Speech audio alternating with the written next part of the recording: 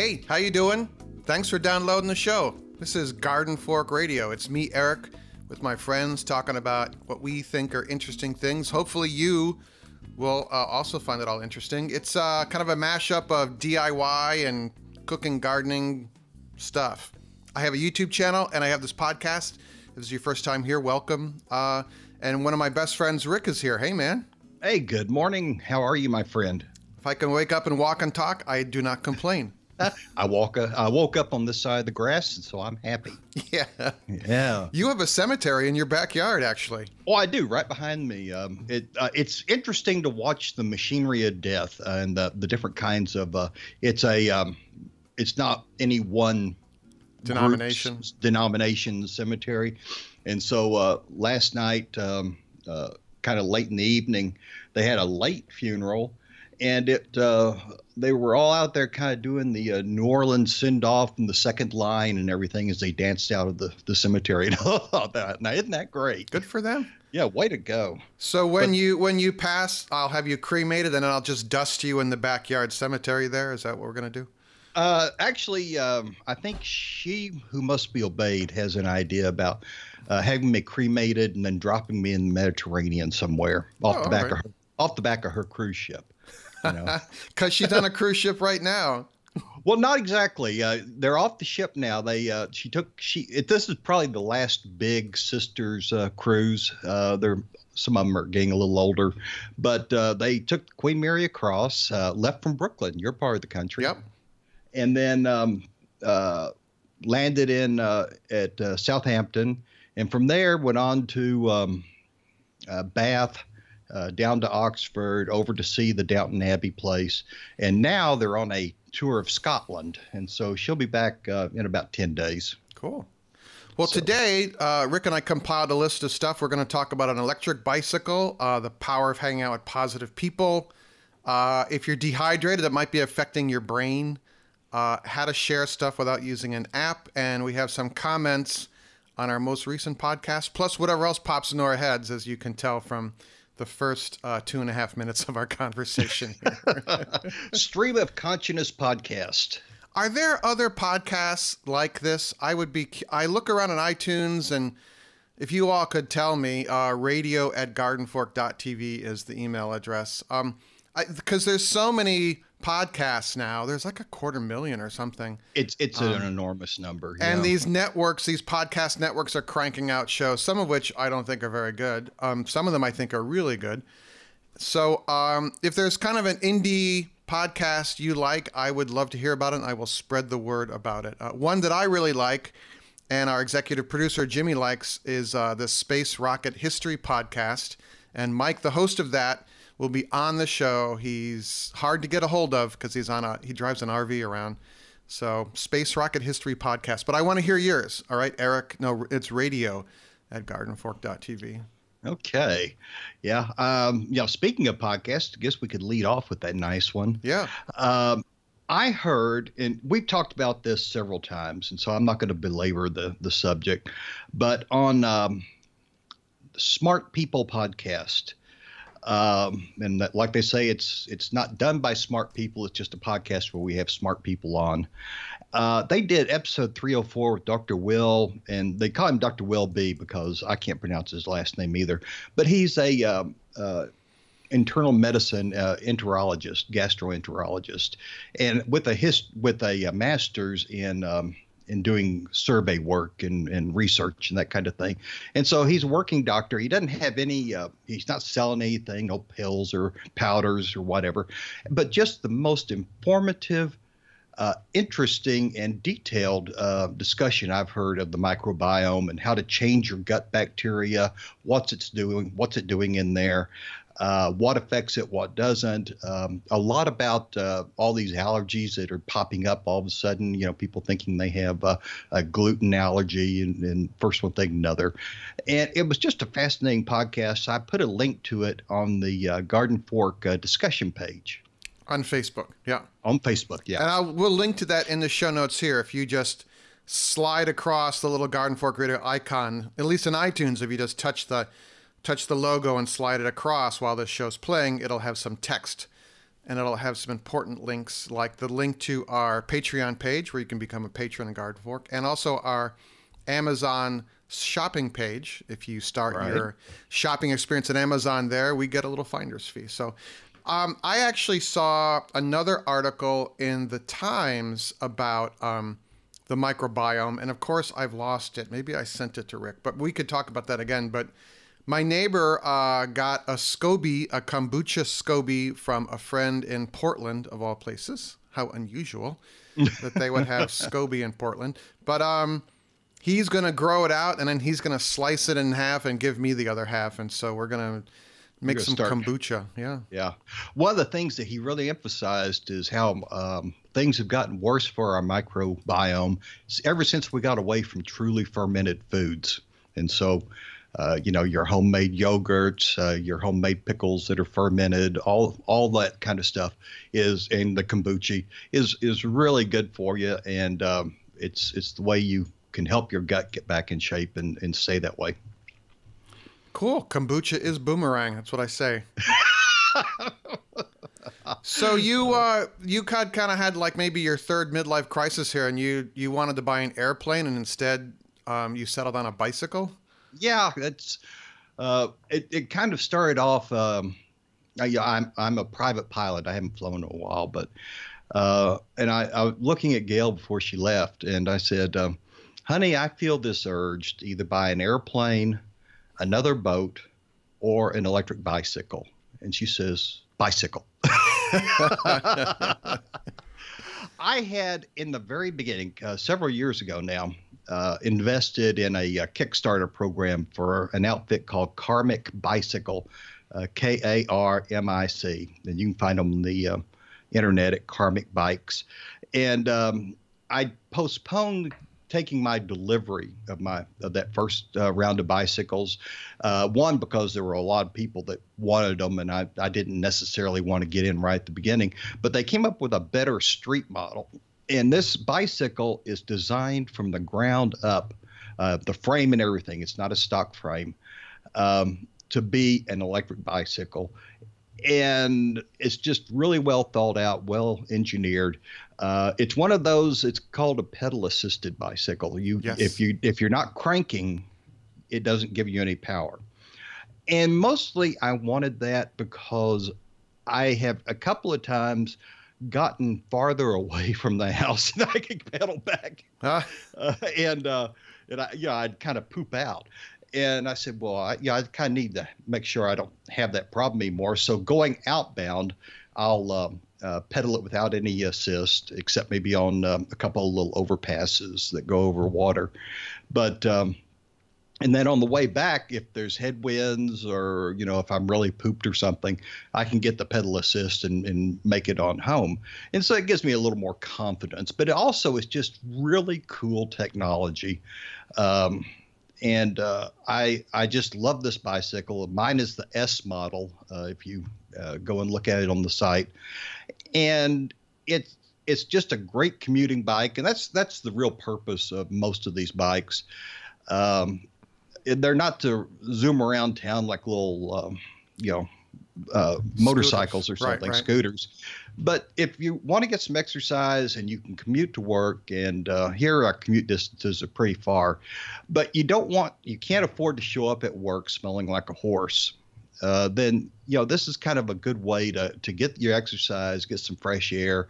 Uh, a lot of people here commute. Uh, we have a very flat, fluvial plain that we live on, and so a lot of people commute by bicycle, and it's just a, nice way to uh, to get around town and, and get some exercise. And you really feel refreshed when you get someplace.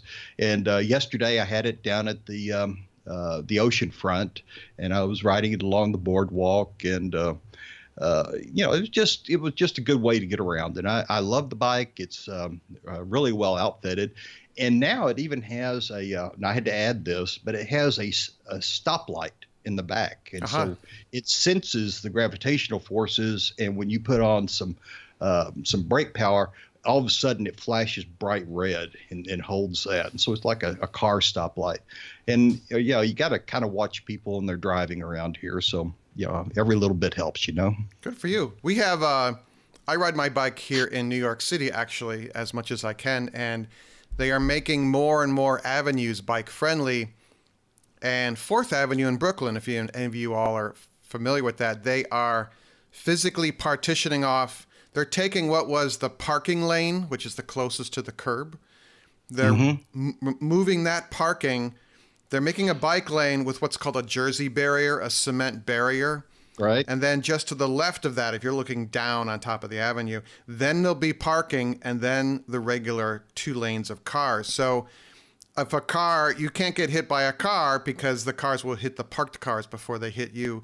Uh, the only trick is you have to go through intersections still, but the idea of taking this avenue, which is a massive avenue, and making it bike friendly is pretty cool. I'm very excited about it. Yeah, no kidding. Uh, we're trying to get better here in Virginia Beach about um, uh, getting some bike lanes. Uh, we have a lot of the in the touristy places. We have a lot of really great bike paths, but as people uh, expand out more, they're they're redoing many of the roads. You know where you know the bike lanes on one side for a while, and then it's on the other side, and they they instead of having two lanes, you know one going up and one coming back, uh, they put them on the same side, and it, was just really kind of a hodgepodge. And they're they're straightening that out. The bike lobby is very strong in Virginia Beach. Good for you guys.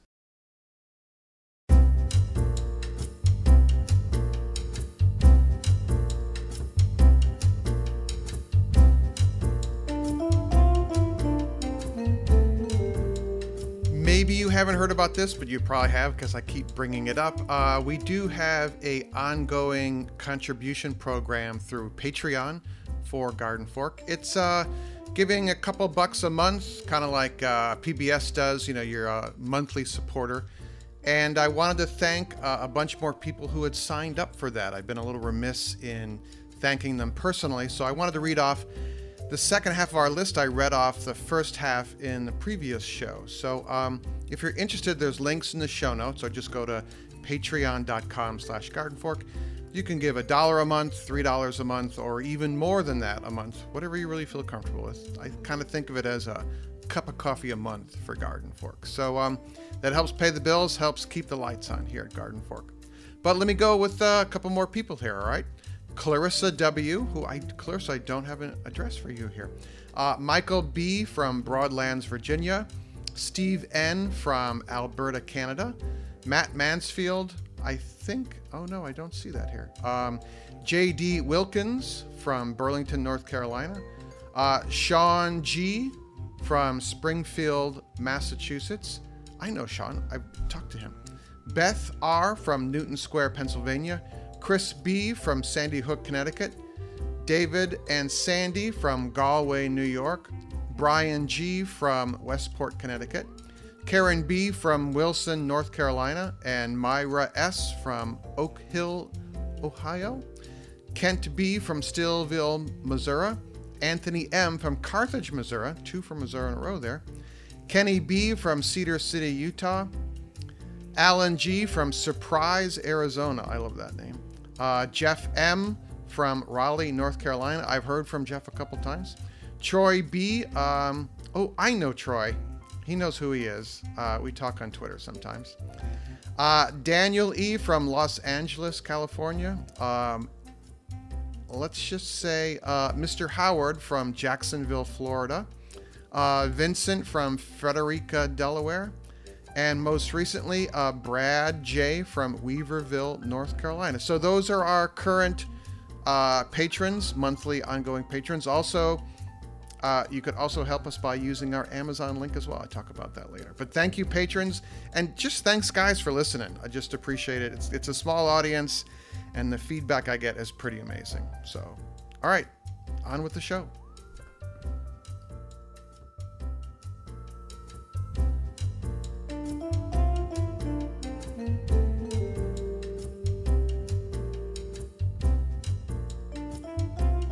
I saw an article um, in the New York Times, and they talked about the power of positive people. Are your friendships giving you a boost or bringing you down? And um, I kind of have firsthand experience with this, but it basically, I will summarize it. Uh, are you, the lead uh, sentence is, are you spending time with the right people for your health and happiness? Uh, while many of us focus primarily on diet and exercise to achieve better health, science suggests that our well being is also influenced by the company we keep. Researchers have found that certain health behaviors appear to be contagious and that our social networks, in person and online, can influence obesity, anxiety, and overall happiness. Okay. A, a recent report found that a person's exercise routine was strongly influenced by his or her social network. And I totally believe that.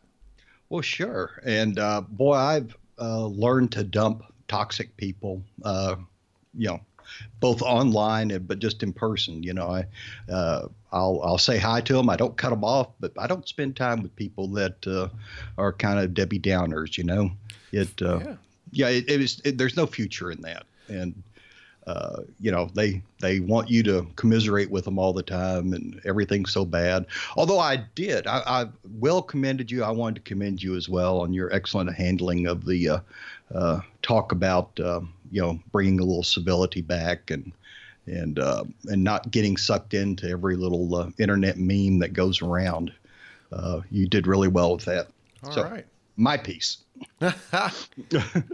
so back to um back to hanging out with cool friends. Um, ah. Friends can exert a measurable and ongoing influence on your health behaviors in a way that a diet never can. So yeah, I um I have some friends who I realized were kind of making me a little nutty, and I once I still keep in touch with them a little bit, but I am much better off when I do spend time with them. My brain starts to hurt, you know. right. It's just like yeah. and I'm like, okay, I just so like they say, if you want to play better tennis, hang out with better tennis players. You know? Oh yeah, yeah. Not that I'm playing better tennis. Are you? No, but um, I know you, what they mean. They go on in this article that says uh, you can just put people together who want to change health behaviors, organize them around a walking or plant-based potluck. Uh, we nudge them into hang out together for 10 weeks. We've created these groups that are now several years old, and they are exerting a healthy influence on their members' lives. So I I see that here in New York and upstate where people just get together and go for a walk, and that's great.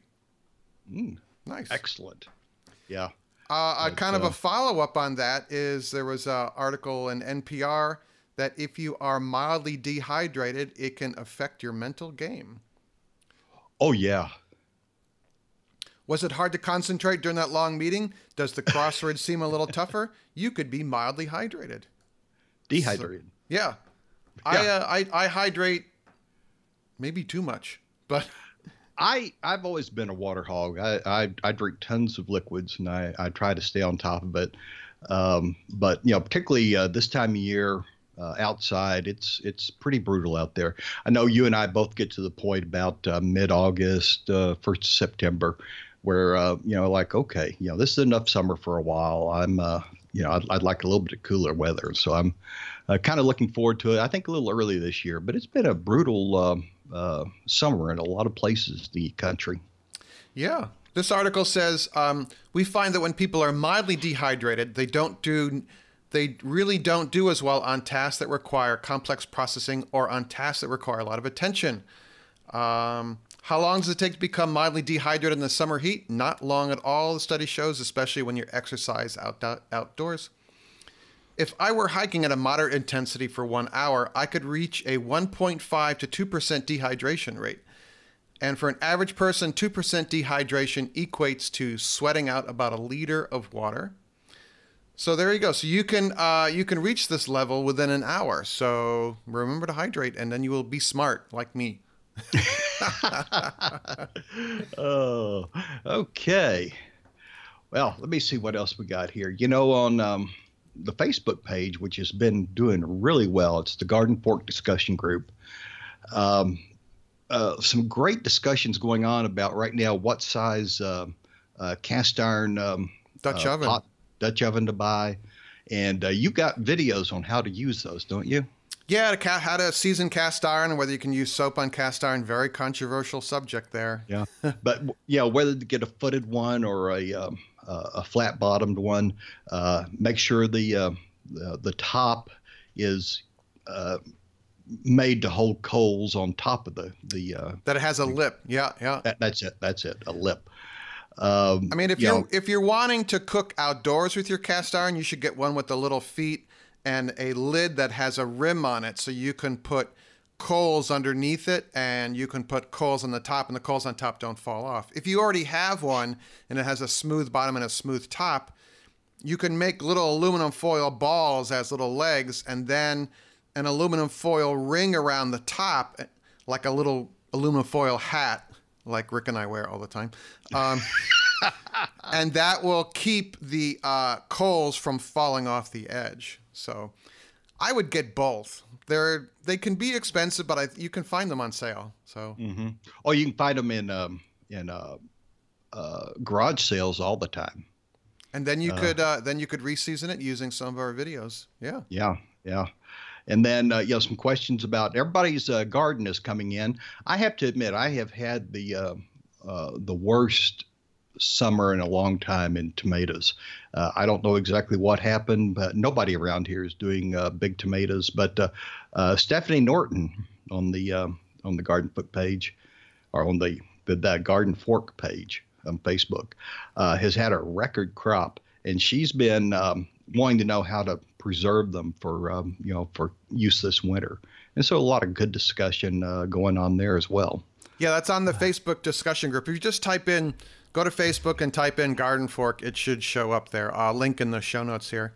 Um, there is also, I posted um, our podcast from last week with Will, mm-hmm. and we were talking about honey being shipped from China to another country, relabeled, and then shipped here.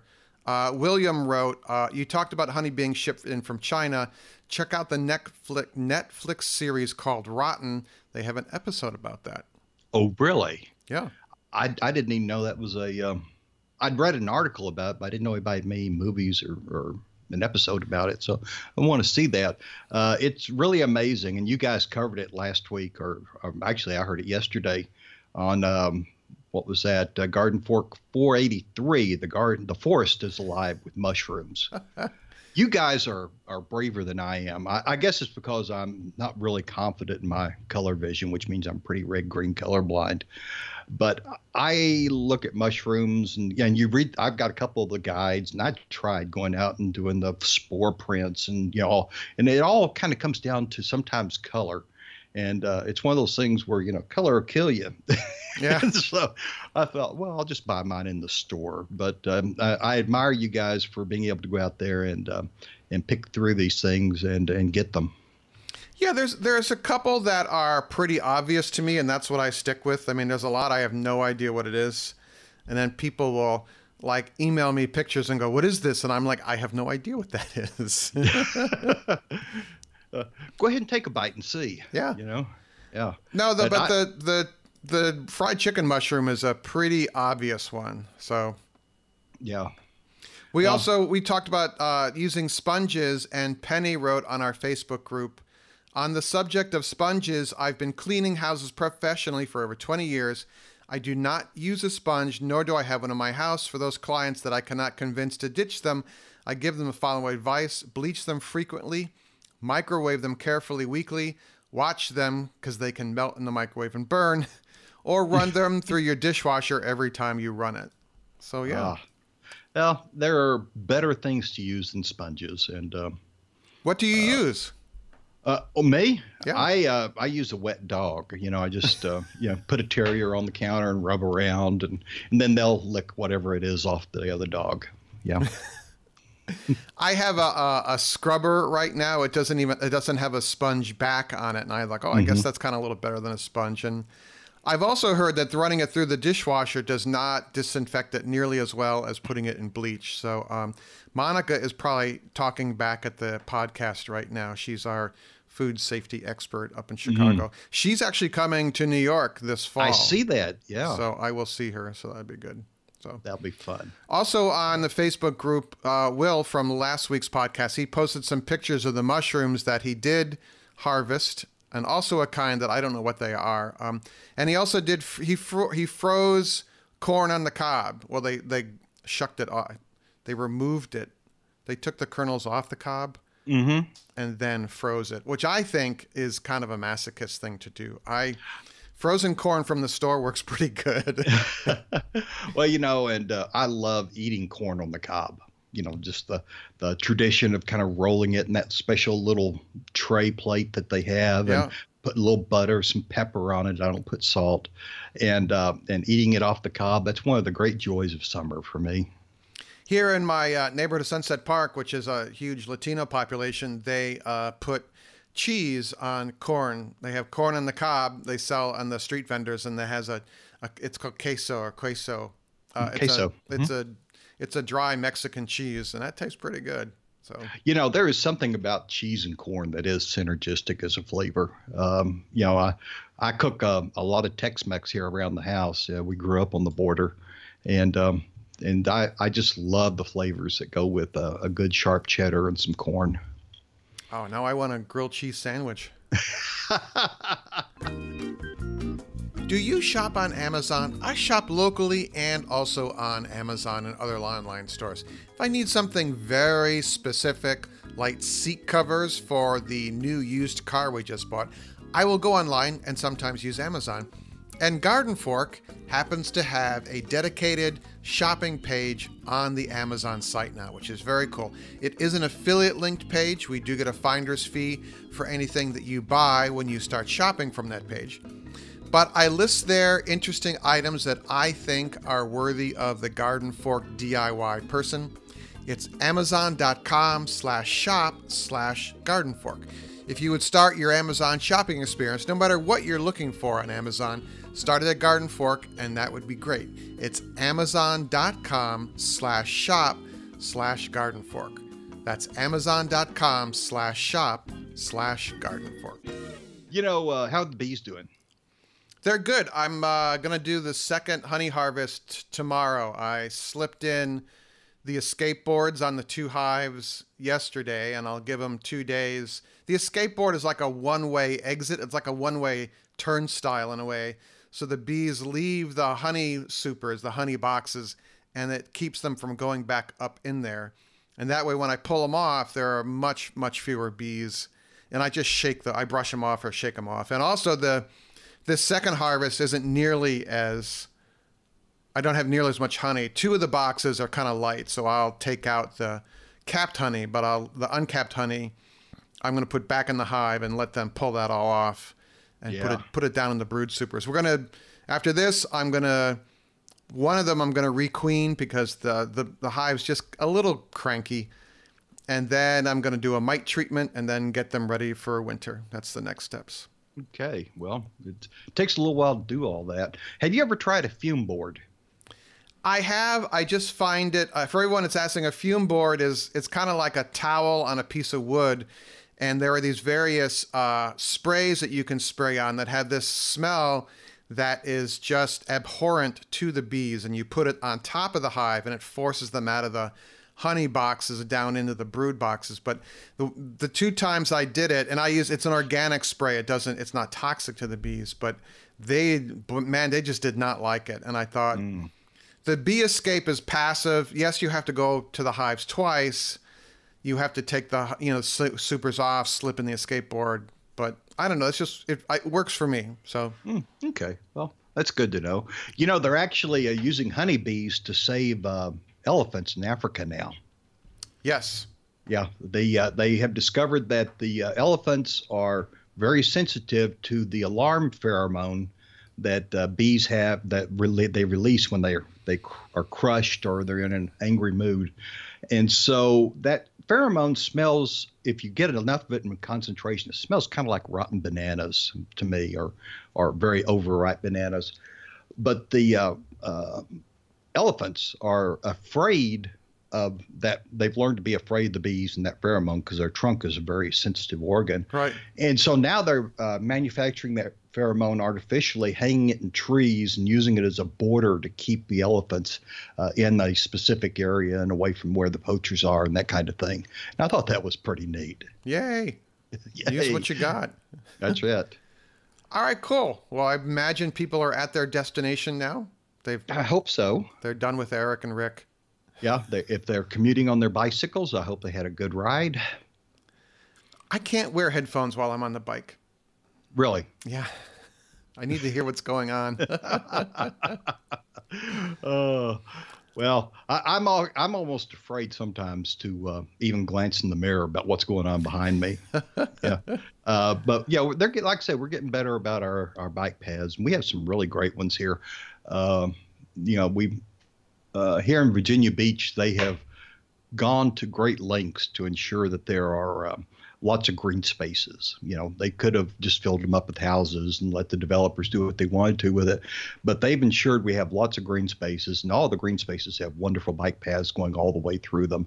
I just wish there was a way that they could connect. Um, you know, neighborhood to neighborhood, kind of through right. back roads and little little alleys, just to slip through between uh, neighborhoods, so you could find your way around with, uh, uh, you know, the mapping apps on the um, on the phones and stuff, it'd be easy enough to, uh, uh, you know, to not get lost and back in some of these neighborhoods and still have a good ride without uh, being threatened by cars. Ah, well, they're working on that here in the city, so you can rent a bike here uh, when you come visit. So okay, have, have they started um, uh, scooter rentals there yet? No, no, that's a t- that's a touchy subject here in the city. So I'll bet so. And I I saw where they were actually cutting back on the number of uh, Uber and Lyft drivers. Yeah, that's another touchy one. Yeah. So. Uh, well, you know, it, it does kind of make sense if everybody's out trying to make uh, you know do pickups, you're going to have more cars in the area, and so yeah, I, I don't know what the deal is, but. Um, yeah, I guess they'll they'll straighten it out. Uh, you know, when you live in a city, you got to live with an awful lot of people. Yeah. All, All right. right. Radio at gardenfork.tv. I want to hear from you. Please tell me what other podcasts you listen to. Are there some good indie ones like us? Like to kind of share the share the love with them and get their get the word out on their podcast as well. Thank you, Rick. And you know, there's always Root Simple. Yes. Uh, you know, the other Eric, he does a great job that podcast. I just presume everyone listening to Garden Fork listens to Root Simple too. So. Oh, okay. Well, then I won't mention it again. All right. Make it a great day, everyone. We will see you. Talk to you later, my friend. Have a great day. Garden Fork Radio's executive producer is Jimmy Goots of hollowbooks.com, and our music is licensed from uniquetracks.com.